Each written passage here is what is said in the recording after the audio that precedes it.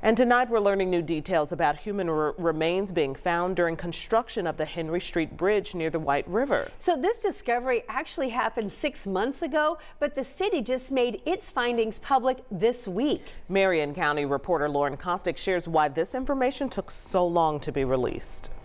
During summer, Indy DPW was preparing for the Henry Street Bridge doing utility work when crews found human remains. They date back to the city's first public cemetery, where thousands remain unaccounted for, majority African Americans. It's something Eunice Trotter and other historians feared from the beginning.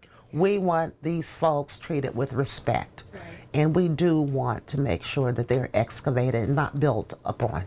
Because of these concerns, the city formed a community advisory group to determine a reporting process.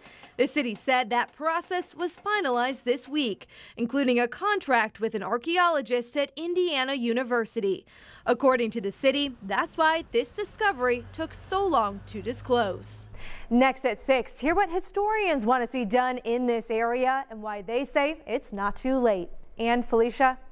All right, thanks so much, Lauren. Back in December, fragments of human remains were also found on the site of the 11 Park project. At the time, Keystone Group said the remains would be cataloged and then uh, reinterred at the discretion of DNR. So to follow up on that, we did check back with them today, but they did not provide us an update yet. We'll keep an eye on it.